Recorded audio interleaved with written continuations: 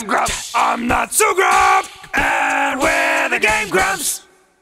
Yeah, so when I was 23, I used to work at a Harley Davidson shop in Bloomfield, New Jersey, mm-hmm. and um, it was it was because my friend's dad owned the Harley shop. It wasn't Right. because I was Captain Motorcycle.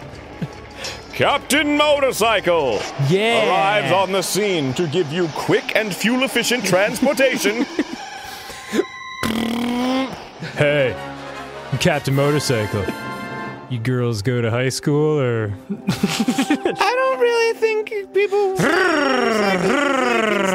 Captain Motorcycle can't hear you because he was revving his engines. I think this was more cool in like the 80s and 90s. And now it's just kind of like. I Captain know, Motorcycle wears a lot of denim on denim Okay. because he knows that's what the ladies love. I like a guy with like a Prius. Captain Motorcycle thinks he's awesome. You can tell because Captain Motorcycle talks about himself in the third person. I'm gonna, I'm gonna go. I'm just gonna go. You know, I don't uh, want to look at you anymore. See ya. Captain Motorcycle's gonna swipe left. All right then.